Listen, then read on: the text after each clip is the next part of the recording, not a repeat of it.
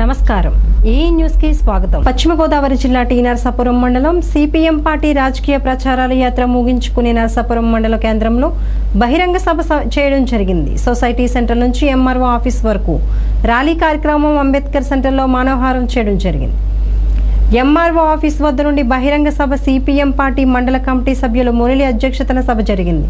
CPM party జిల్లా committee సభ్యులు K Srinivas బహిరంగ సభను ఉద్దేశించి మాట్లాడారు ఈ ప్రసారోద్యమ కార్యక్రమం జరుగుతూ ఉంది ఈరోజు కేంద్ర ప్రభుత్వం ఈరోజు మొత్తం కార్మికులు రైతులు వ్యవసాయ కార్మికులు వ్యతిరేకమైన చట్టాలను తీసుకొస్తా ఉన్నారు. ప్రధానంగా ఎన్నో పోరాటాల ఫలితంగా కార్మికులు సాధించుకున్న చట్టాలను పూర్తిగా నిర్వీర్యం చేసే పనిలో ఇవాళ మోడీ ప్రభుత్వం ఉంది అంతేకాకుండా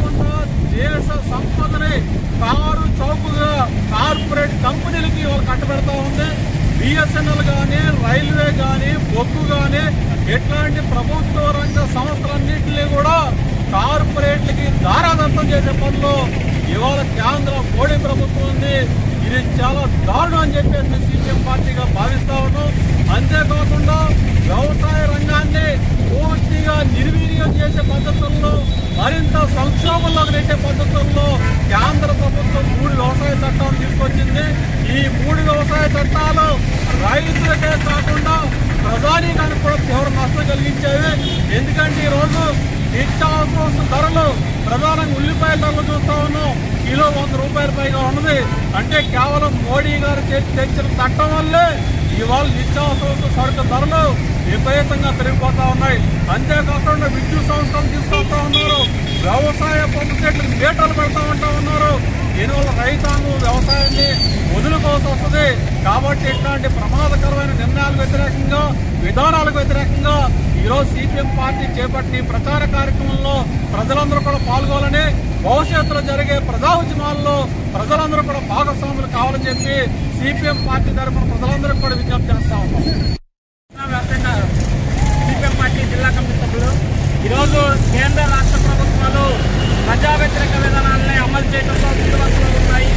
దానిలో భాగంగానే సిపిఎం పార్టీ కేంద్ర కమిటీ నిర్ణయం మేరకు ఈ నెల ఏడో తారీఖు నుంచి పదిహేను వరకు జిల్లాలో మండల స్థాయిలోనే నిరసన కార్యక్రమాలు జరుగుతుంది. దీనిలో భాగంగానే ఈ టీ మండలంలో గత మూడున్నర సంవత్సరాల నుంచి సిపిఎం పార్టీ ఎర్రకాలువ మిగులు భూముల కోసం పోరాటం నిర్వహిస్తుంది ఆ ఎర్రకాలువ మిగులు భూములు పేపర్లో పంచాలని పోరాటం చేస్తున్న సందర్భంలో భూస్వాములు ఇక్కడున్న పోలీసు అధికారులు పేదలపైన అక్రమ కేసులు పెడుతున్నారు.